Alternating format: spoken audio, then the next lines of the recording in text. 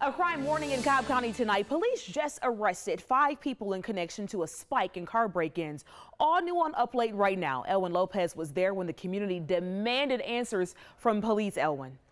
Just the whole idea that somebody's going up and down the streets breaking into cars is just disturbing. A recent rash of car break-ins led Becky Adams here to this community town meeting in Marietta. I've lived here for 36 years.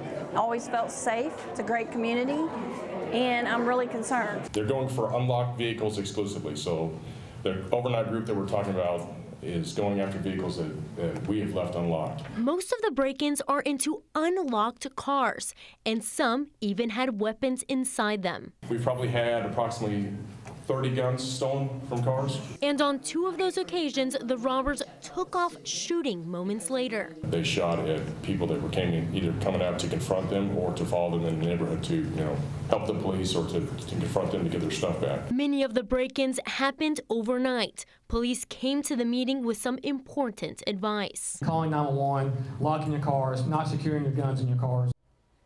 Yeah, and another word of advice from police. They're also encouraging homeowners to get security cameras as an added layer of protection. Aisha. Good advice there. Thank you so much, Elwin. Now let's get you up to speed on some of tonight's other big stories. The family